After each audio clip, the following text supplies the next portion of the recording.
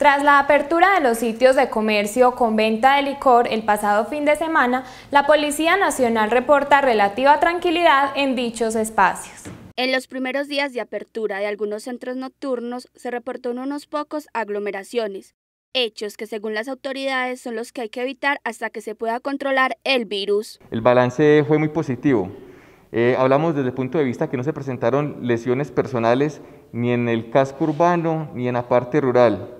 Eh, para nosotros es muy importante este tema de control porque realmente nos preocupa como institución la, seguridad de las personas y digamos que el licor es un detonante para que las personas se agredan entre, entre ellos mismos.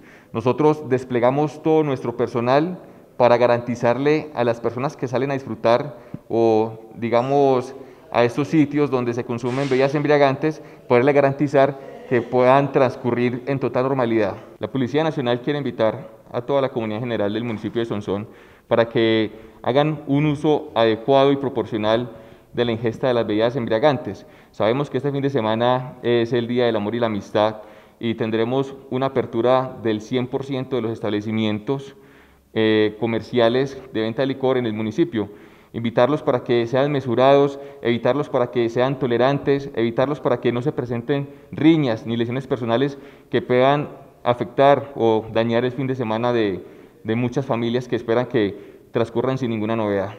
Como parte de la operatividad de la semana, el comandante de estación reportó la captura de un ciudadano en el municipio. El día lunes, en horas de la tarde, eh, logramos la captura de un ciudadano por el sector de la galería, que momento antes habría hurtado un celular de otra persona que pues trabaja como cotero eh, en los camiones que llegan a, cargar alimentos. Eh, gracias a la reacción, a la información del ciudadano y a la reacción de la policía que realizó unos patrullajes por los alrededores, logramos dar con la identificación del ciudadano, asimismo la requisa y le logramos hallar en su poder el celular el cual momentos antes había sido hurtado. Ciudadano que fue puesto a disposición de la autoridad competente para asimismo definir la situación judicial. Las autoridades de policía del municipio reiteran el llamado a la mesura de los ciudadanos a la hora de disfrutar del comercio con venta y consumo de licor.